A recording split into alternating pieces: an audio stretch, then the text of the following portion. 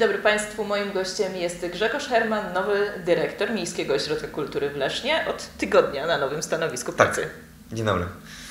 Porozmawiajmy trochę o planach, trochę o tym, co zostało zostane, mm, jakie są plany na przyszłość. Wiemy, że trudno mówić szybko o zmianach w takich instytucjach jak Miejski Ośrodek Kultury, dlatego że przechodzi się już na zastany budżet i na zaplanowane imprezy, więc może zacznijmy od tego, czego możemy spodziewać się w najbliższym czasie.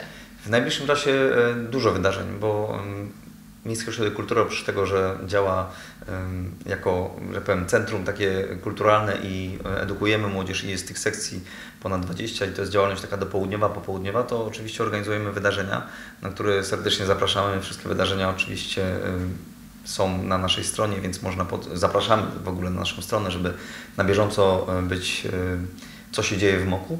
E, także e, mnóstwo koncertów, między innymi takie właśnie rockowe, e, jak przygoda rockowa zespołu Blues Eyes. Będzie spektakl, że powiem, muzyczno połączony z, z wideo, z animacjami.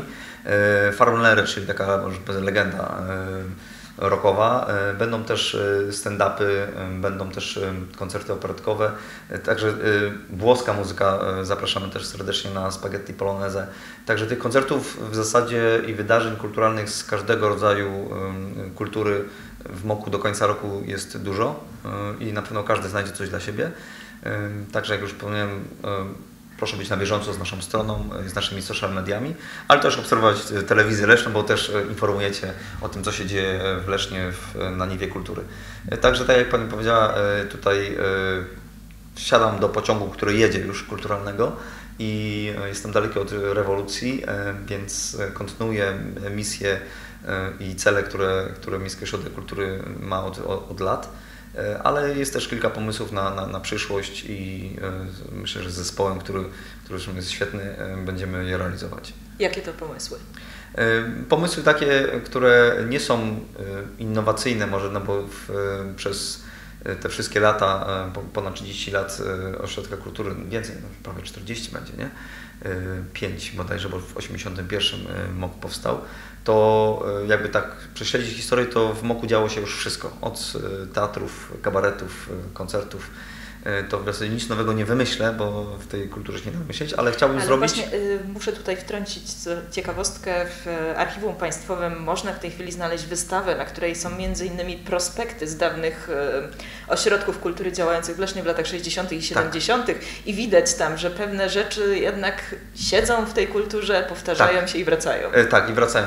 E, sam pisząc wizję byłem w Archiwum Leszczyńskim i, i prześledziłem E, historię e, wydarzeń. E, zresztą też piękna wystawa dotycząca Wojewódzkiego Domu Kultury, który współpracował tutaj. Więc tych naprawdę wydarzeń było takich dużo i też teatralnych, kabaretowych, także naprawdę ciekawe rzeczy. Ja chciałbym w przyszłości, nie wiem czy w przyszłym roku, bo budżet mamy już zaplanowany, zrobić taki festiwal mm, dla wokalistów i instrumentalistów działających w Lesznie i regionie, którzy by warsztatowo szkolili się pod okiem e, zawodowych muzyków e, czy trenerów wokalnych. No i byłoby to zwieńczeniem e, koncertu takiego coś na wzór właśnie warsztatów Poluzon, jak są robione w Katowicach przez świetny zespół poluzujanci z Kubą Madechem na czele.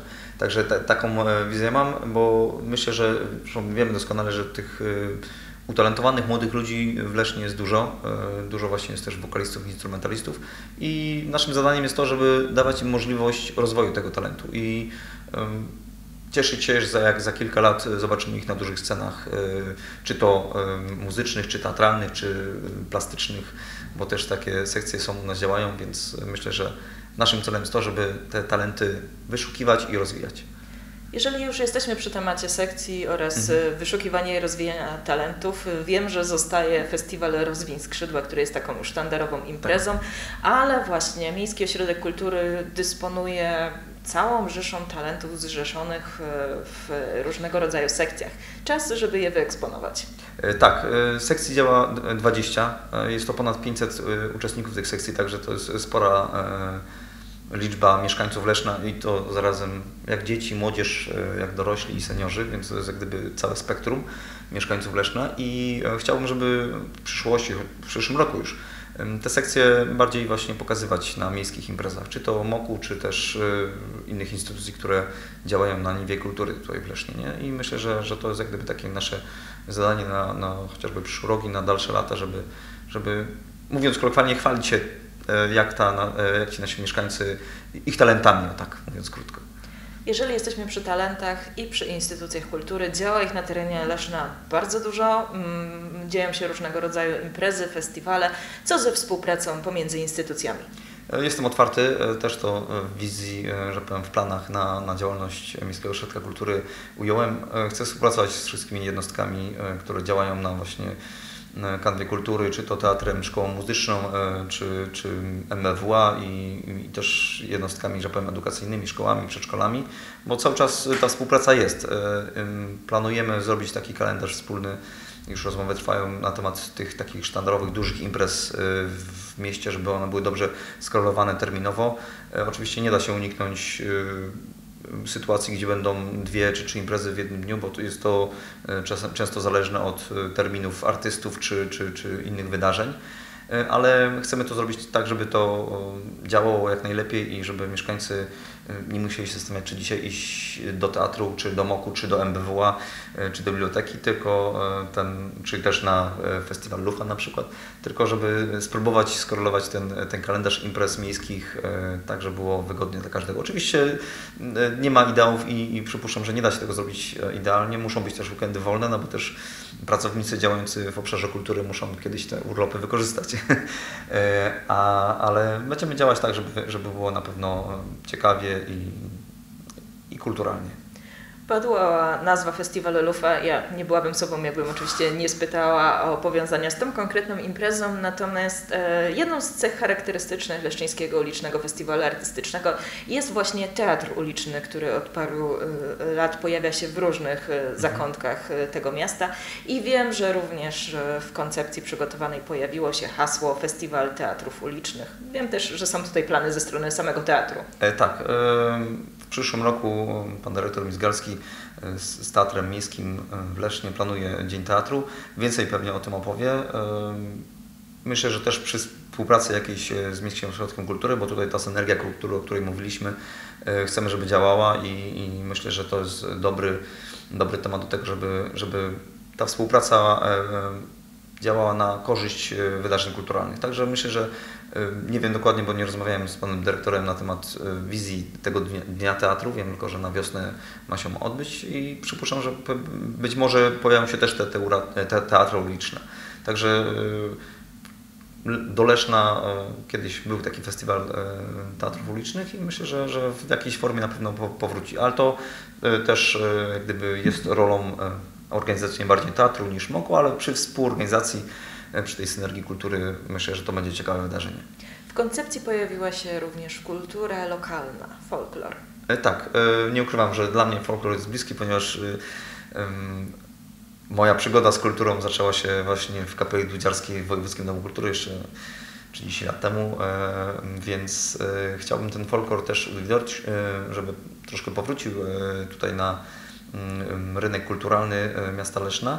E, jest kilka pomysłów, e, może nie stricte dudziarskie, bo to jest jak gdyby tylko jedna z, z form i, i, odmian muzyki e, ludowej, ale właśnie taki kolorowy, barwny festiwal folklorystyczny z, z zespołami na przykład z, z różnych państw, myślę, że byłby ciekawym wydarzeniem.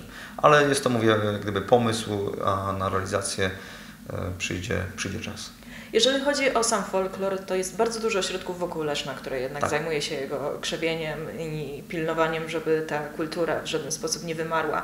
E, mamy chociażby Bukowiec w okolicy, mamy Śmigiel, tak. mamy najbliższą Święciechowę. Tak, e, dlaczego w takim razie ściągamy ich do Leszna? E, żeby właśnie pokazać tą współpracę też e, jednostki, e, dużej jednostki działającej w Lesznie, i ta współpraca między ośrodkami kultury e, z mniejszych miejscowości to jest właśnie idealny pomysł na to, żeby zrobić taki festiwal i pokazać te zespoły, dając możliwość im wystąpienia na, na dużej scenie i przy wspólnej organizacji, bo mniejsze ośrodki nie zawsze stać, żeby taki duży festiwal zrobić, a przy współpracy możemy, jesteśmy w stanie to osiągnąć po prostu. Jeszcze jedna kwestia. Wiem, że tutaj mamy już jakiś kalendarz imprez e, przygotowany. Wiem, że wiele zależy od tego, czy artyści mają dostępne terminy, że wiele wydarzeń planuje się nawet na kilka lat do przodu. Ale czy jest e, jakaś konkretna forma artystyczna, czy może konkretny artysta, który e, chciałby Pan, żeby pojawił się na scenie Moku y, jeszcze dużo nie mogę zdradzać, ponieważ y, z artystami, y, managementem się rozmawia y, wstępnie i mówię tak, jeszcze szósty dzień w pracy, więc jeszcze wdrażam się, że pewnie administracyjnie i, i rozmowy z działem organizacji imprez w MOKU codziennie, że powiem, są odbywane. Mam kilka pomysłów, nie chcę na razie zdradzać. Bardziej zachęcam mieszkańców do śledzenia naszej strony, żeby byli na bieżąco, kto zagra w tym roku jeszcze i kto zagra w przyszłym roku. Więc y, no, w przyszłym roku na, to też widać na stronie jest Sławek Koniatowski, którego muzykę też y, bardzo lubię. A rozmowa o tym, kto, kto jeszcze wystąpi w przyszłym roku, to naprawdę jest jeszcze trochę za wcześnie w tym tygodniu. Ale marzenie, marzenie, chociaż jedno marzenie.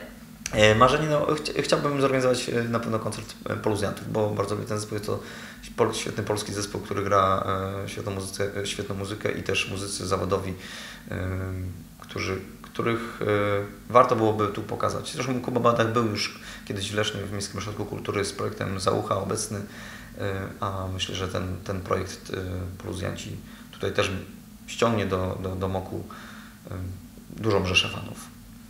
Będziemy rozmawiać e, na kolejne tematy. E, Kiedy będzie Pan w pracy już nieco dłużej niż 6 dni, wiadomo, że tutaj wiele rzeczy zostanie Tak. zweryfikowanych. Będziemy w kontakcie i będziemy opowiadać mieszkańcom Leszna, co mogą znaleźć w Miejskim Ośrodku Kultury. Dziękuję. Dziękuję.